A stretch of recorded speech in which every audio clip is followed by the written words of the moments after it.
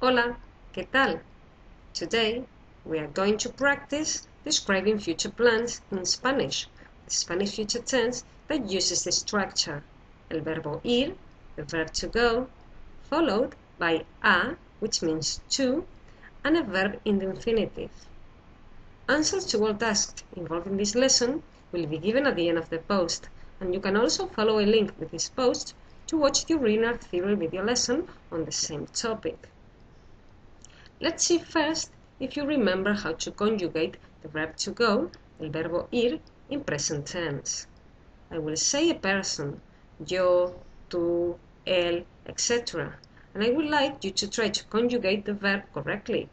For example, ellos van. Ella. Nosotros. Usted vosotros, yo, ellos, tú, ustedes. Now, let's see if you understand these sentences in the Spanish future tense. Vamos a comer en la casa de mi abuela. ¿Vas a estudiar ahora? Mi hermano va a trabajar mañana. ¿Vais a salir esta noche? Voy a ver la televisión luego.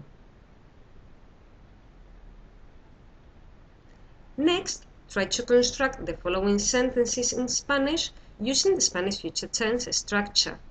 Ir, a plus infinitive. I'm going to cook. We are going to visit Anna. Are you coming with us? Talking to one person in a friendly way. Our sister is working on Sunday. They are going to the beach tomorrow. Tell me now what these various useful phrases mean in Spanish. Más tarde. Esta tarde. Este fin de semana. Pasado mañana. La semana que viene. El próximo mes. And finally, tell me if these Spanish sentences are in the present or future tense. Vamos a la playa los sábados. Voy a escuchar música esta tarde. Ellos van a comprar libros luego. ¿Vas a la casa de tus padres todos los domingos? Voy a Alicante a menudo.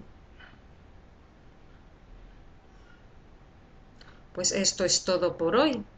As you see, it is quite easy to talk about the future in Spanish.